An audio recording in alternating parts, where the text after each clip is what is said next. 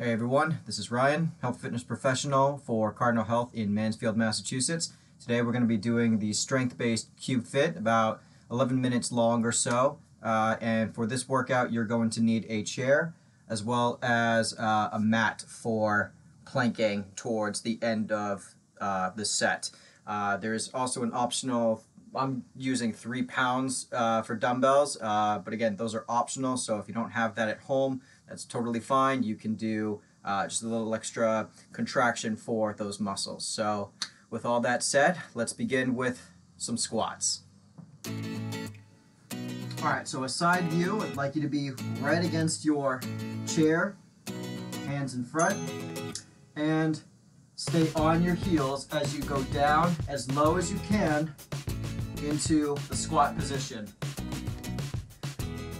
My feet are about shoulder width apart, and notice my knees do not go in front of my feet. By that I mean they're not going too far forward like this, that's way too much. I want you to bring the butt back a little bit to make sure the knees stay in place as you bend and extend for the legs. This time feel free to swing out the arms a little bit. This exercise is going to last a whole minute. Same with all the other exercises I have for you today. So take your time and try to go a little bit deeper into the squat with each rep you do.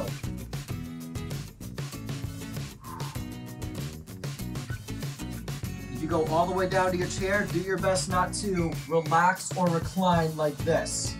And coming up. Next up, we're going into push-up position.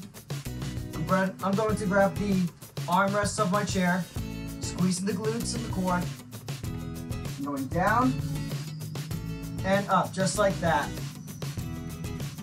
If the push-ups are a little too intense right now, what you can do is take one foot, bring it forward, and this front foot here should help to relieve a little bit of the intensity in the push-up.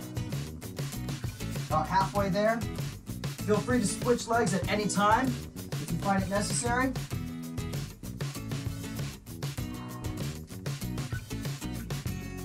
You'll have a lot more control with how intense the push-up will be with this front leg. So if you go back even just a little bit, you should feel a little bit of a difference in how difficult the push-ups may be. Last one here. Excellent. All right, at this time I'd like to grab my dumbbells. Feet together, slight bend at the knee, leaning forward with my torso.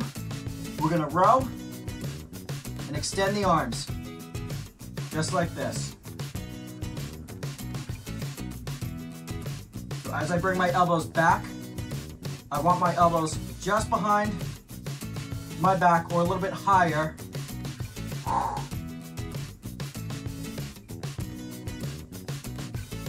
the elbows back, I really want to squeeze the shoulder blades together and stretch my arms so I can get a good contract contraction in the triceps. Keeping my arms nice and narrow.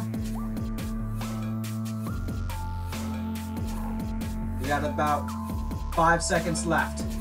So let's do one more. And relax. Standing up. All right, next up I'm going to do a front view, feet shoulder width apart, and I want to slide my hands down the legs, just do about halfway down the shin, coming back up, and curl. Down, keeping the back nice and flat, coming back up for the curl side view, you can see I have a nice flat back on the way down.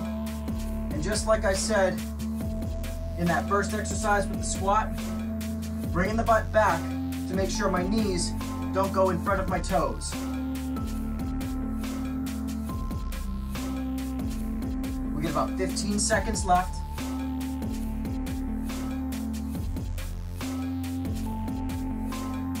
Down, last curl here. And that's it for the dumbbells. And what I'd like to do now for planking is I'll be on my chair,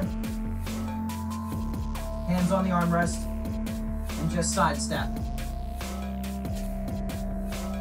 This is the easier version for the plank with my hands on the armrest like this, slightly elevated. I'm gonna do just a couple more of these side steps and then I'm going to increase my intensity by going down on the floor. If you wanna stay by your chair doing the planks, you can. I'll do my plank right here.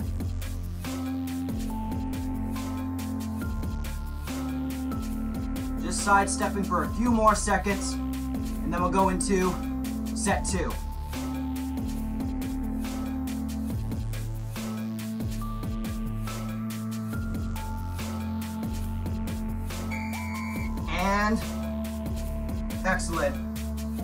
Going into set two, starting everything over. Again, staying right by your chair, hands in front, down into the squat, and back up. Notice how much I'm moving my hips. They come forward, a little bit of an extra thrust, and bringing them as far back as I need to. Keeping the back nice and flat.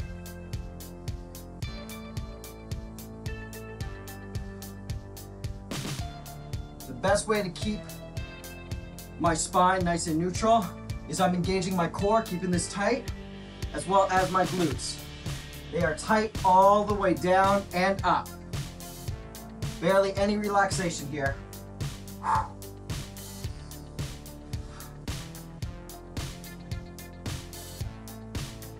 Just a couple more. This is the last one here. And up. Shaking that out real quick for the legs. Going back into chest. Hands on the armrests of your chair. And one foot in front if you need to for the push-up. Make sure your elbows are nice and wide. They're not too close in to your torso like that. Keep them out.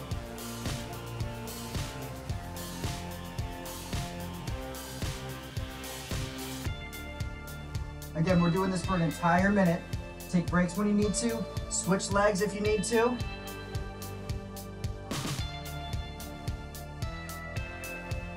Keep your back flat. And again, use this front leg here to have control as to how intense you want your push-ups to be.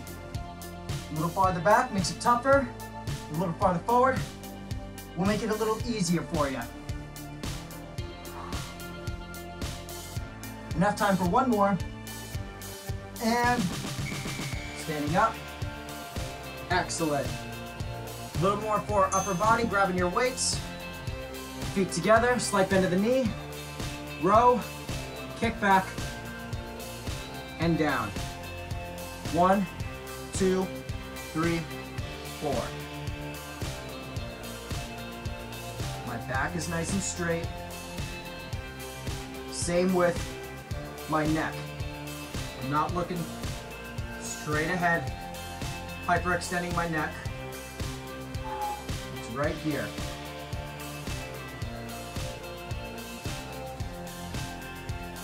Squeeze your back muscles as much as you can, especially if you don't have any weights with you today.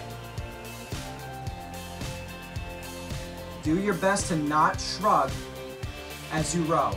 Keep the shoulders down, away from your jawline. Enough time for one more. And very good. Next up, feet shoulder width apart, hands in front.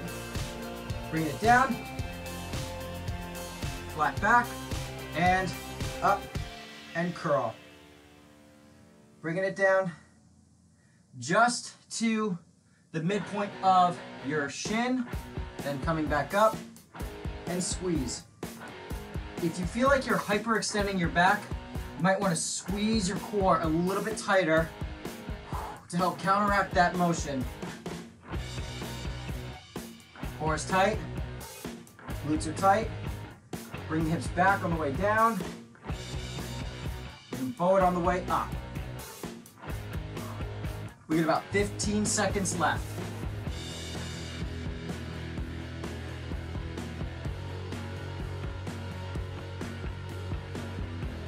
Taking your time. Good squeeze in the glutes. Last one here. And up, curl, weights to the side, and back to plank position. I'm gonna start my first half or my first 30 seconds on the chair. Straight leg side step.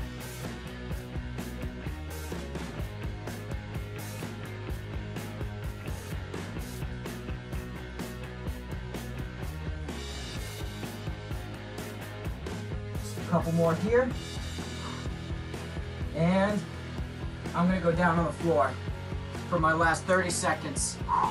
Staying off my knees, keeping the core engaged.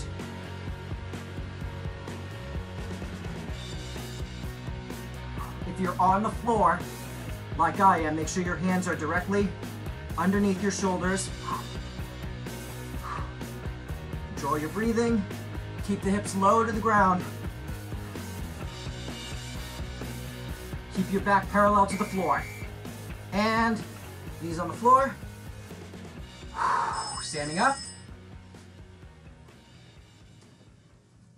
So that's it for Cube Fit Strength today. I hope you guys got a lot out of that in the 10 or 11 minutes this took.